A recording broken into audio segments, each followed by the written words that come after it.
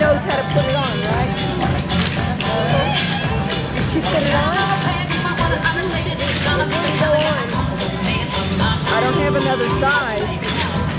How do you put it on? Uh, your mom should know how to put it on. If you put it on and it didn't fit, then it, we don't have it bigger.